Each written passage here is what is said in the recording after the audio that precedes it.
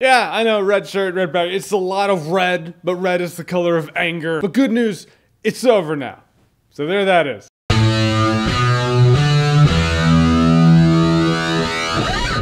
Resident Evil, the final chapter. Bye bye. So Resident Evil The Final Chapter, or as the poster calls it, is the supposed final chapter in the Resident Evil movie franchise, which is great news because now they can reboot it in a completely justified reboot, in which case they can actually follow the story from the games and it might actually be good. That or just play the games, let the movies die. Point is now Alice is back and she has to do stuff and stop Umbrella again. I say it like that because for a large chunk of this movie, I was sitting there like, why is anything happening? Granted, the movie is self-aware in the fact that the audience really doesn't know why any of this is happening because they fill in the audience like, hey, by the way, here's what's happened, this is what happened before, and now here's where we are. And even what happened before isn't actually in line with what happened before from what I remember. I say from what I remember in my disclaimer the fact that I've seen the Resident Evil movies once in theaters each, so I might be remembering it wrong, but from what I can recall in the second Resident Evil movie, Jared Harris's character was the one who created the T-Virus, and the Red Queen, which was the AI robot in the hive was modeled after his daughter, right? And this one, it tells us it's a completely different guy who made the T virus, and that guy's daughter is what the Red Queen is modeled after. It was really confusing. If there are Resident Evil movie fans out there who completely just watch these movies all the time and know the lore, please clear it up for me because I'm trying to remember a movie that I saw like 13 years ago once. The movie is just a series of action sequences. It's like, all right,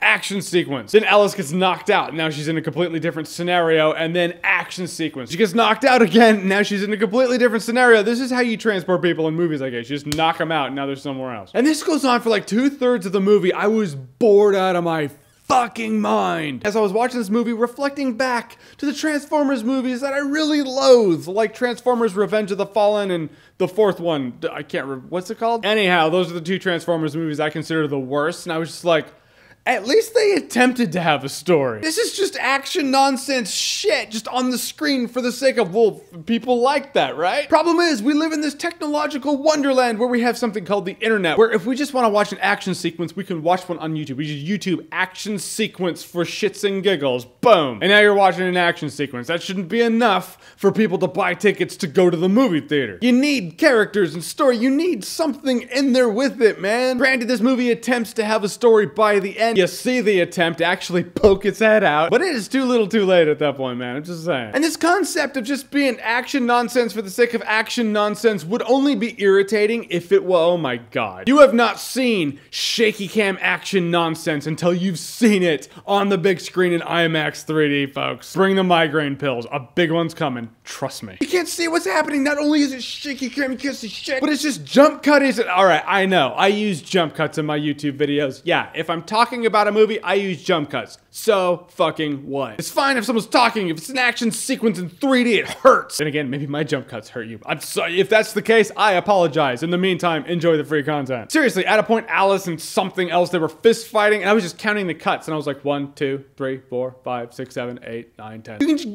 literally count the edits, in and I'm like, you can't see shit. There were a couple times someone died, and I was like, I don't even know who died. I'm gonna have to see the next scene where they're all standing around and find out who's not there so I can assess who died. Probably not the approach the movie wants to take. I'm just saying, it's not. Like I said, the last third, it's like the movie started to go, okay, guys, we really gotta try. I mean, the studio wants us to at least try. And so you see an attempt, and really in the last tenth of the movie, you can be like, hey, that's them trying. But it ain't enough, man. It's just by then I checked out. There's a part of me that's like, you know, this might be the best Resident Evil ever because it's over now. Part of me that just wants to give it Awesometacular because it signifies transcendence. We're, we're going somewhere else now. I don't have to do this anymore. I found this to be a movie built on the brick and mortar of just jump cut, shoddy ass, shaky cam action scene nonsense that was just, I couldn't see what was happening. And I had a headache by the first quarter of the movie. It's like everyone was like, nah, the, the stories aren't working out. Let's just have shit happen. And yeah, that should be the tagline on the poster Resident Evil, the final chapter.